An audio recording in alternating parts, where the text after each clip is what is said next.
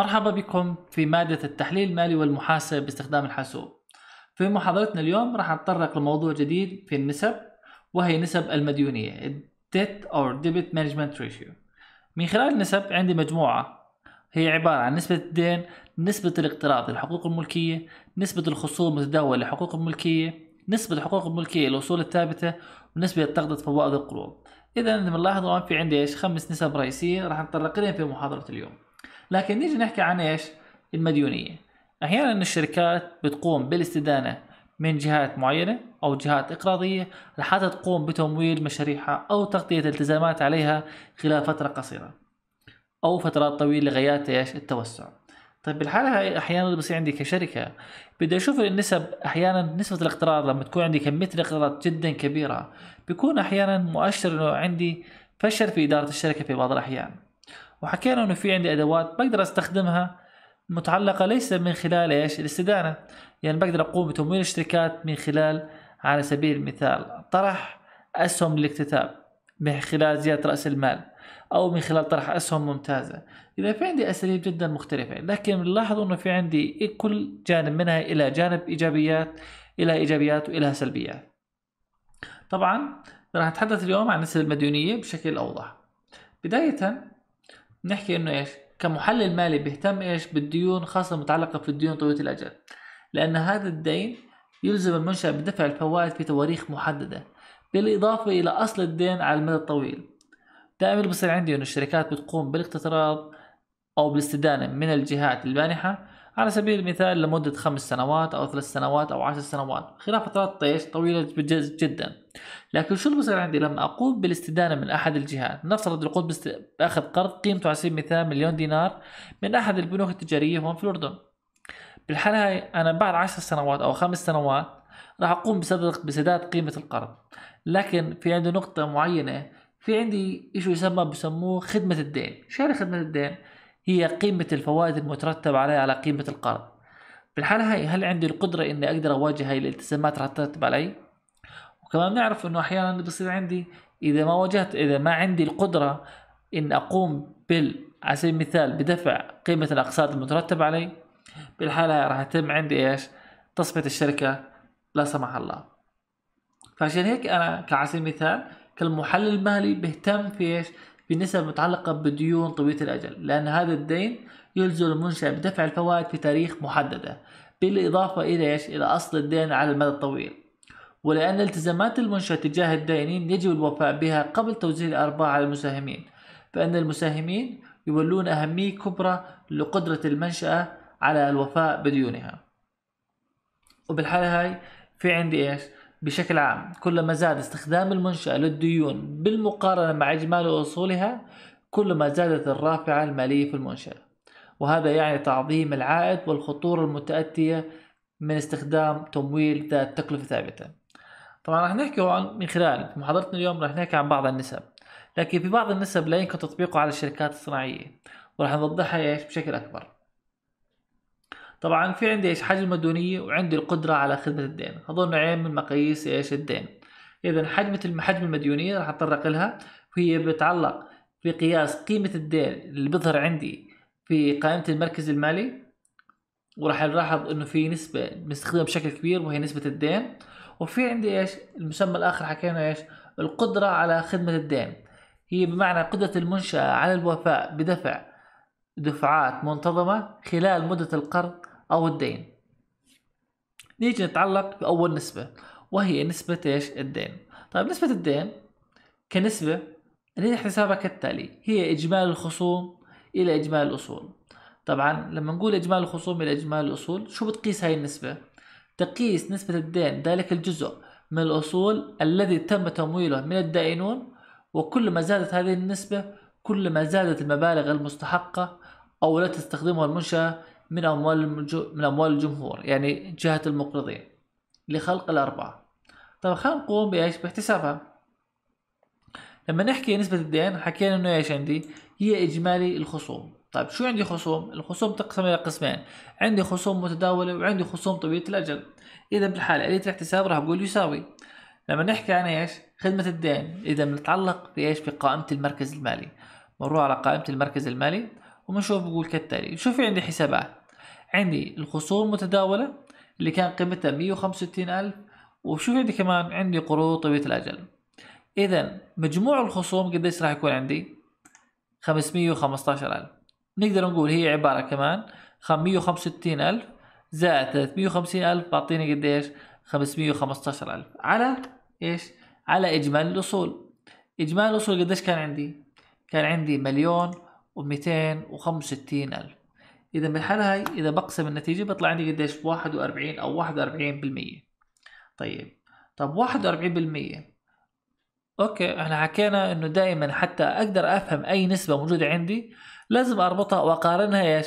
يا إما بسنوات سابقة أو أقارنها إيش؟ مع معيار الصناعة. نفترض إنه معيار الصناعة عندي قديش؟ كان 30 30% طيب بالحالة هاي شو راح يصير عندي؟ بالحالة هاي بنحكي إنه إيش؟ إنه المنشأة قامت بتمويل ما نسبة 41% من أصولها من الدين أي أن كل دينار واحد مستغل في إجمالي الأصول عليه دين كلي بمقدار 41 قرش كيف يعني؟ لما قمنا تقسيم إيش؟ إحنا قلنا إجمالي الخصوم إلى إجمالي إيش؟ حقوق إيش؟ إجمالي الأصول بالحالة هاي حكينا إنه 41% أي بمعنى إذا بنيجي على قائمة المركز المالي وبنقوم إذا بنلاحظ إجمالي الأصول قديش كان عندي؟ مليون ومئتين وخمسة وستين ألف.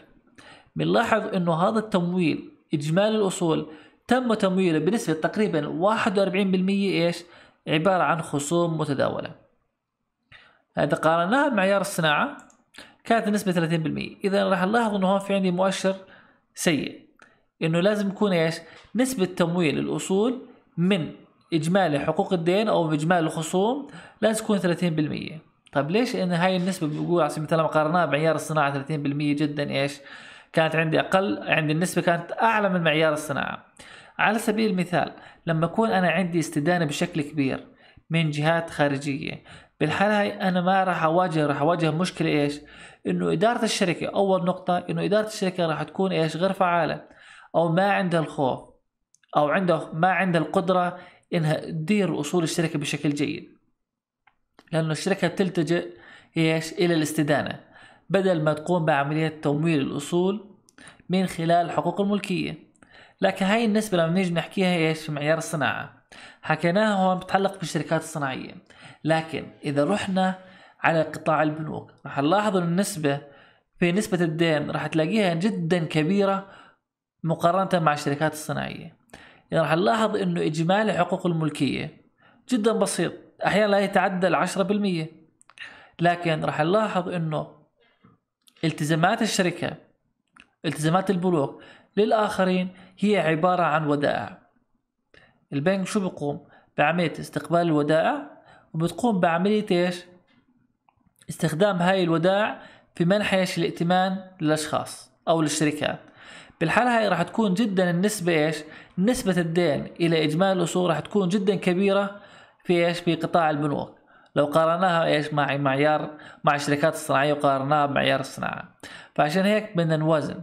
ما في نسبة معينة نقول نافعة لكل الشركات لكل القطاعات عشان هيك إحنا دائما بنقارن إيش؟ شركة مع معيار الصناعة لنفس القطاع. عشان تكون إيش؟ القابليه للمقارنة. فعشان هيك لازم نهتم في هاي النقطة. إذا تم توضيح النسبة الأولى وحكينا إنه نسبة الدين كانت عندي 41% 41% أي بمعنى أنه تم تمويل إجمالي الأصول أو تم تمويل أصول الشركة بنسبة 41% كدين إيش؟ من جهات خارجية وليست والباقي راح يكون إيش؟ عبارة عن حقوق ملكية. طيب إذا هاي فيما يتعلق إيش؟ فيما يتعلق في نسبة الدين. طيب النسبة الثانية نسبة الاقتراض إلى حقوق الملكية. طبعا هاي النسبة شو بتقيس؟ تقيس هذه النسبة مدى مساهمة الدائنين في تمويل الأصول مقارنة مع حقوق الملكية. وعادة ما يفضل الدائنون أن تكون هذه النسبة غير مرتفعة لأن انخفاضها يمثل وقاية يتمتع بها الدائنون في حالة التصفية. والمعيار الصناعي لهذه النسبة هو بيكون من واحد إلى واحد. أي بمعنى أن لا تزيد أموال الاقتراض عن مجموع حقوق الملكية. طيب لما نيجي نحكي آلية احتسابها كيف آلية احتسابها؟ إحنا بنقول هي عبارة كالتالي الاقتراض أو مجموع الالتزامات الغير على حقوق الملكية. نيجي نقوم باحتسابها. إذا راح نقول كالتالي يساوي. إذا بالحالة هاي راح نقول هي عبارة نقول نفتح قوس وبنقوم كالتالي. إذا عندي إيش؟ مجموع الأصول ناقص حقوق الملكية عشان أقدر أصل إيش؟ نسبة لحجم الاقتراض أو مجموع التزامات للغير. نيجي على قائمة المركز المالي. نيجي إيش؟ على مجموع الأصول. قديش كان مجموع الأصول عندي؟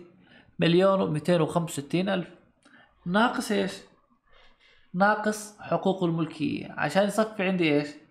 النسبة اللي بدي إياها فيما يتعلق في جانب إيش؟ أصل لحساب يسمى حجم الاقتراض أو مجموع الألتزامات الغير إذا بالحالة هاي راح أطرح منها إيش؟ مجموع حقوق الملكية. وبقسمه على إيش؟ حكينا بقسمه على حقوق الملكية. أي بمعنى لما أشيل جانب حقوق الملكية من إجمالي الأصول وبقسمها على حقوق الملكية راح تطلع عندي النسبة كالتالي. إذا راح أقسمها على إيش؟ على 750 ألف. إذا بالحالة هاي راح تكون عندي النسبة تقريبا 69 أو 69% طيب نيجي نقارنها على سبيل المثال معيار الصناعة. لنفترض إنه معيار الصناعة عندي قديش كان عندي؟ 50% بالحالة هاي شو بقدر أقول؟ بنقول أن أي كل دينار كل واحد دينار مستغل في حقوق الملكية عليه ديون بمقدار 69 إيش؟ قرش. وبالمقارنة مع المعيار الصناعي تعتبر هذه النسبة مرتفعة. حيث أن ارتفاع نسبة الدين إلى الحقوق الملكية يزيد المخاطرة بعدم قدرة المنشأة على خدمة دينها في نفس الوقت وبالتالي يزيد من مخاطر إيش؟ أصحاب المنشأة بسبب احتمال تعرض المنشأة للإفلاس نتيجة لذلك. حكينا إنه إيش؟ إنه كل دينار أنا بستغله في جانب حقوق الملكية قديش عليه دين؟ عليه دين بنسبة 69 قرش.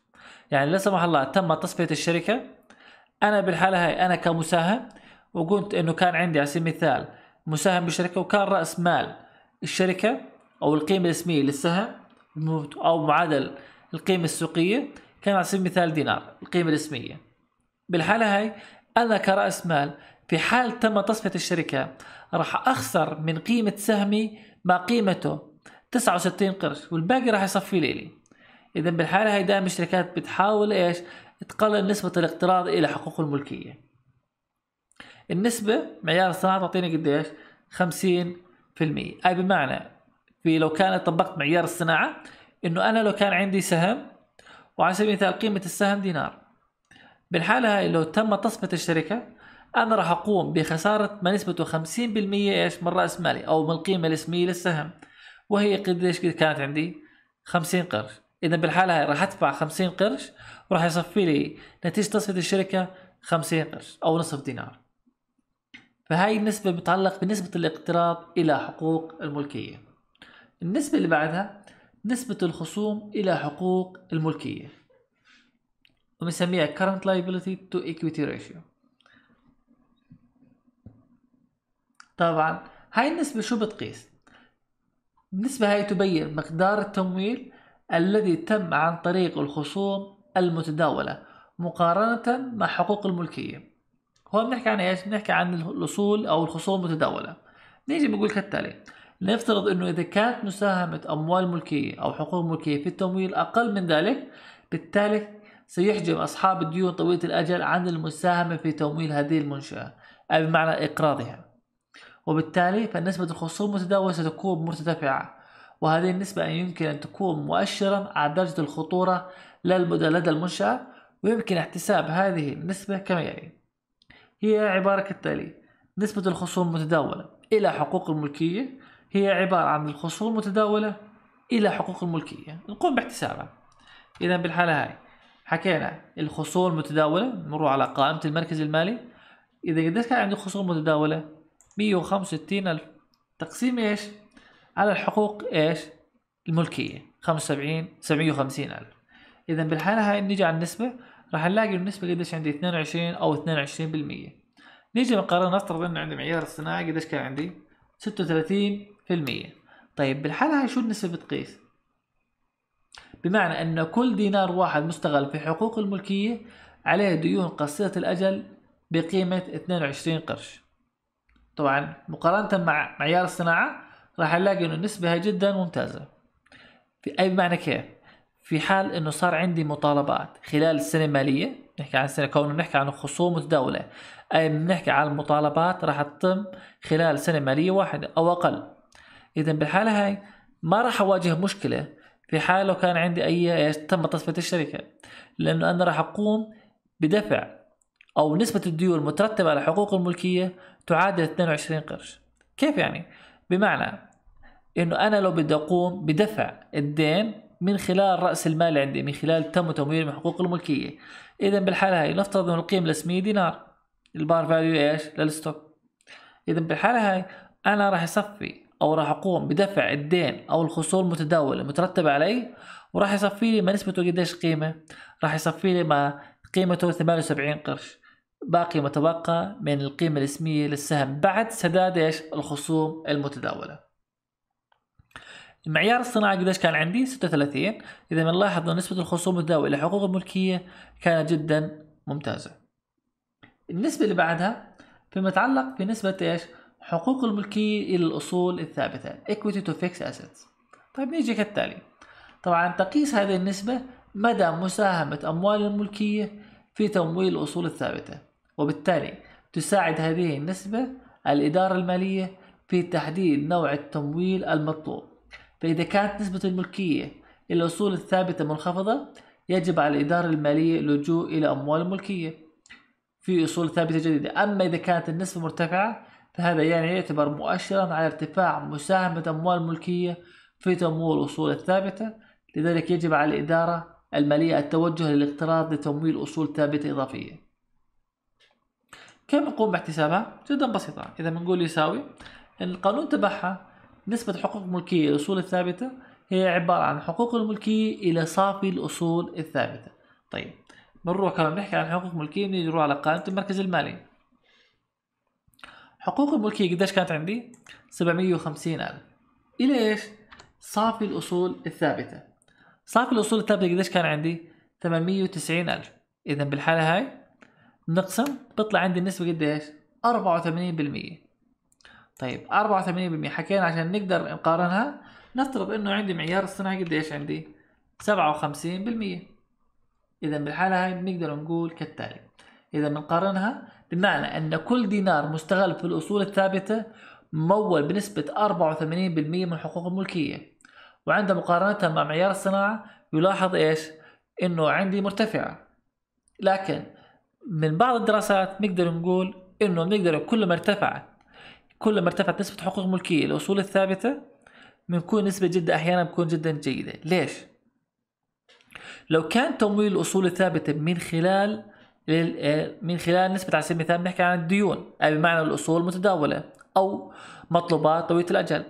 بالحالة هاي أنا راح أواجه مشكلة من خلال سداد الدين وبالإضافة لخدمة الدين. أنا بروح لما أقترض من أحد الشركات أو من البنوك أنا باخذ قيمة القرض لكن بترتب عليه فائدة. فبالحالة هاي إذا كانت نسبة التمويل الأصول الثابتة من حقوق الملكيه جدا منخفضة إذا بالحالة هاي بدل ما يروح العائد أو المنفعة تروح للحقوق الملكية راح تروح لمين؟ للبنوك. فعشان هيك فيها اختلاف من بعض الدراسات لكن إحنا بنحاول إيش؟ نوازن بها قدر الإمكان. فعشان هيك أنا برايي بنلاحظ إنه النسبة هاي جدا جيدة إنه تم تمويل الأصول الثابتة من خلال حقوق الملكية بنسبة 84% النسبة الأخيرة وهي نسبة تغطية فوائد القروض. طبعا تقيس هذه النسبة إلى أي مدى يمكن لأرباح المنشأة أن تتدنى ولا يزال باستطاعتها تغطية ودفع الفوائد على قروضها. طبعا وكل ما زادت هذه النسبة كلما زادت قدرتها على الوفاء بدفع الفائدة المتفق عليها. طبعا تحتسابها كالتالي. هي عبارة عن الأرباح قبل الفوائد والضرائب هي مسميها الإبت earning before interest and tax divided إيش interest paid على الفوائد المدفوعة. إذا احتسابها؟ الأرباح قبل الفوائد والضرائب على الفوائد المدفوعة. نيجي بنقول كالتالي. إذا يساوي كون نحكي هون أرباح قبل الفوائد والضرائب إذا نحكي في قائمة الدخل. إذا قائمة الدخل. إذا الدخل قبل الفوائد والضرائب قديش كان عندي؟ 299 ألف. تقسيم قديش؟ على الفائدة المدفوعة مصروف مصاريف الفوائد. اللي كانت عندي قديش؟ 23 ألف. إذا بالحالة راح نلاحظ عندي النسبة 13 مرة. طيب شو يعني؟ طيب عشان نقدر نقارنها نفترض إنه عندي معيار الصناعة سبعة. عشان نقدر نقوم بتوضيحها أي بمعنى؟ إن كل دينار فوائد يقابله 13 دينار إجمالي أرباح فوائد قبل الضرائب ولاحظ الافضلية للمنشأة عند المقارنة إيش؟ مع المعيار الصناعي. طبعا كل ما زادت النسبة كل ما كانت أفضل. أي بمعنى إنه الفوائد أو الأرباح بتغطي نسبة الفائدة 13% 13 مرة. إذا بالحالة هاي أنا ما راح أواجه مشكلة في تغطية الفوائد المترتب علي. إذا بالحالة هاي معيار الصناعة قديش كان؟ معطيني سبع مرات. لكن عندي نسبة تغطية الفوائد القروض كانت عندي إيش؟ 13 مرة.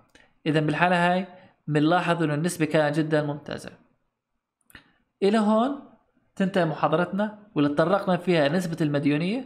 في المحاضرة القادمة إن شاء الله راح أتطرق لنسب الربحية. شكرا لكم على حسن الاستماع. thank you